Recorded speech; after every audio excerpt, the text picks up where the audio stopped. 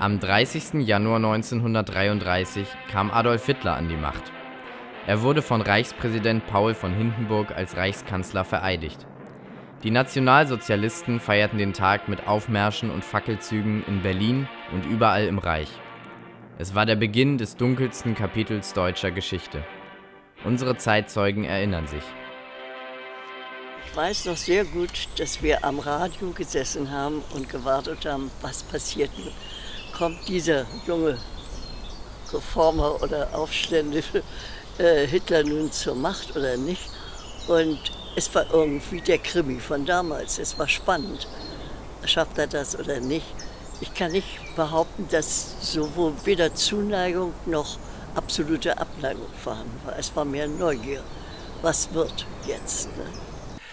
Mein großer Bruder kommt rauf, die Treppen raufgestürmt und schreit, Hitler ist Reichskanzler oder der Führer ist Reichskanzler, der Führer ist Reichskanzler, stellt sich wieder vor meinen Vater hin und sagt, so, jetzt kann ich euch das ja sagen, hier ist mein Hakenkreuz, hat er sein Dings umgedreht und hier ist mein Hitlerjugendabzeichen und ich bin schon seit einem halben Jahr Mitglied der Hitlerjugend.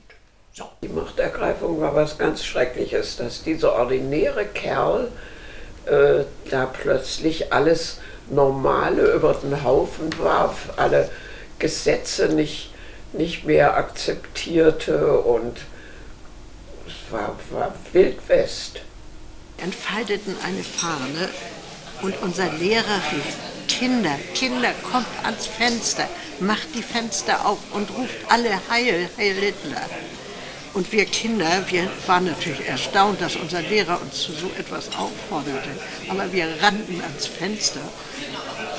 Die Fenster flogen auf und wir schrien Heil. Wer Hitler war, wussten wir ja überhaupt nicht. Wir wussten nicht, was los war. Aber die Fahne wurde gehisst. Es wurde stramm gestanden und das fanden wir natürlich alles sehr interessant. Die Uniform weiß ich auch noch. Man hat sie ja nachher auch immer gesehen in, in Braun mit dem Hakenkreuz am Arm. Und dann marschierten sie wieder ab. Die Arbeitslosigkeit war damals sehr groß. Und äh, ich weiß, dass sie immer zu meinem Vater in den Laden kamen und sagten, Herr Petersen, also im Moment ein bisschen klamm auf der Fahrt. Können Sie mal anschreiben, drei Zigaretten.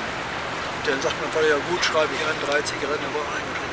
Also die lungerten so ein bisschen herum. Und dann kamen 1933 die Nazis. Plötzlich ganz anders. Plötzlich wurden, erschienen die Herren in braunen Hemden mit Stiefeln und kamen plötzlich zu meinem Vater rein. Herr Lindler, Herr Petersen, drei Zigaretten, aber ein bisschen flott. Da waren Herrenmenschen entstanden. Über Nacht. Arbeitslose zu Herrenmenschen. Wunderschön, na wunderschön, kann man eigentlich sagen. Also da war die Umwandlung, das habe ich miterlebt. Auch Ende der 32 Klassentag. Und da war mein Vater dabei und da haben sie alle auf die Nazis geschimpft. Und dann war Anfang 33 wieder Klassentag und da waren die meisten Nazis. Ich habe hinterher oft darüber nachgedacht, warum haben wir uns nicht dagegen gewehrt. Aber es war nicht unmittelbar die Veranlassung dazu, weil alles so geschickt friedlich begann.